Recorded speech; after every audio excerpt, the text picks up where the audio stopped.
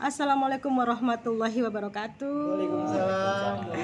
Pemirsa malam ini tengah malam saya ketemu dengan tiga cowok ganteng yang masih muda luar biasa. U20. nah, eh, tiga pemuda ini adalah salah satu musisi dangdut ya kan.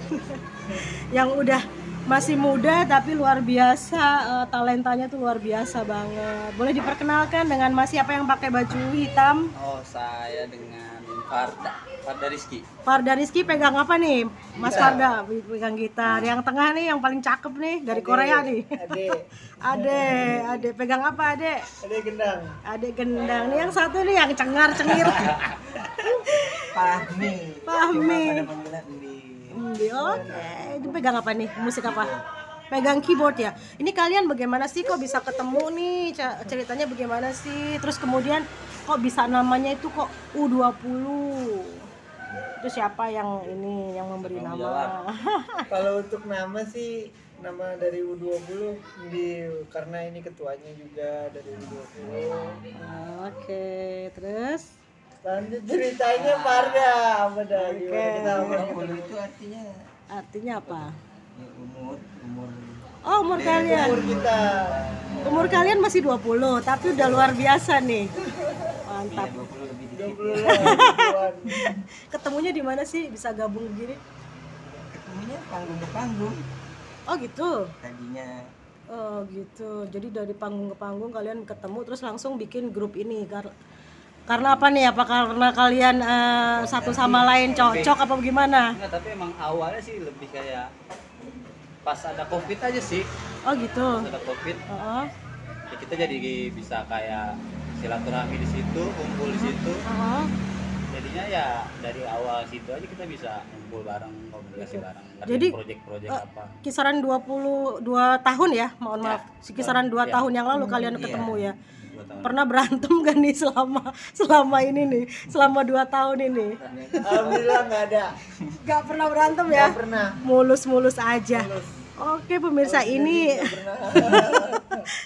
Jangan sampai lah. jangan sampai ya harus kompak lah ya, harus kompak sampai besar nanti nih. amin Nah pemirsa ke- eh, tiga pemuda ini nih ternyata tuh pernah mengisi salah satu acara di rumah fans kalian ini Leslar dalam acara kemarin tuh silaturahmi Lida dan DA ya. Iya, betul. Eh, itu menurut kalian gimana tuh suasana di rumah itu pada saat itu? Seru nggak tuh? Seru, seru banget. Seru banget. Seru banget ya, rame banget ya. Rame semuanya emang yang tamu-tamu yang datang tuh emang ya seru semua sih dia. Seru semua ya. Semua. nyanyi semua Keren banget. Keren. Itu kalian diundang Leslar sendiri atau bagaimana? gimana kemarin Ceritanya atau dari manajemen? Manajemen the band. Oh, begitu. Heeh, kalian diundang. Itu sampai jam berapa? Sampai larut ya? Sampai. Tapi kalian senang pada saat itu. pada saat itu saking ininya ya, saking hebohnya senang Saking ya. hebohnya ya benar. Masya Allah ya. Seru itu kan. Jadi, Heeh. ya kita juga ke bawah. Ke bawah ya. Seneng juga deh gitu.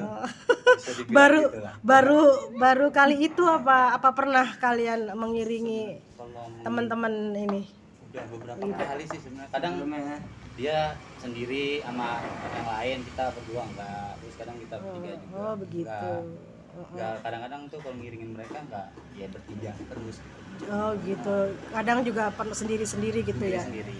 oke kan kalian sudah main ke rumah Leslar ya kemudian ketemu dengan beliau langsung secara pribadi ya kan nggak nggak di panggung gitu iya menurut pandangan kalian ini Leslar itu sosok yang seperti apa sih?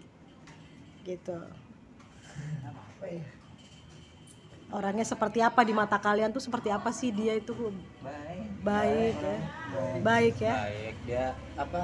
Ya biar kata dia kita nggak kenal ya, nggak kenal Tapi maksudnya, tapi iya, tapi ya negor. oh gitu ya mau nyapa sama yang maksudnya belum kenal banget kan oh ya Ah, baru tapi ketemu itu iya, maksudnya iya. dalam artian pribadi ya Pribadi, ya.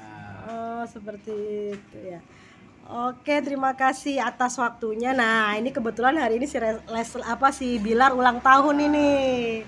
Apa yang akan kalian sampaikan kepada Bilar? Bilar buat Kak Rizky Bilar selamat ulang tahun.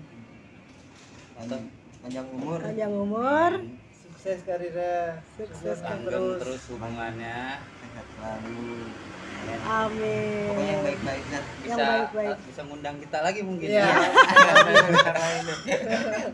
harapannya ya Harapan. ngundang lagi dan seru-seruan lagi di rumah Leslar. Yes. Baik, terima kasih U20 untuk waktunya untuk waktunya untuk Nitot Media. Sukses buat kalian semua ya.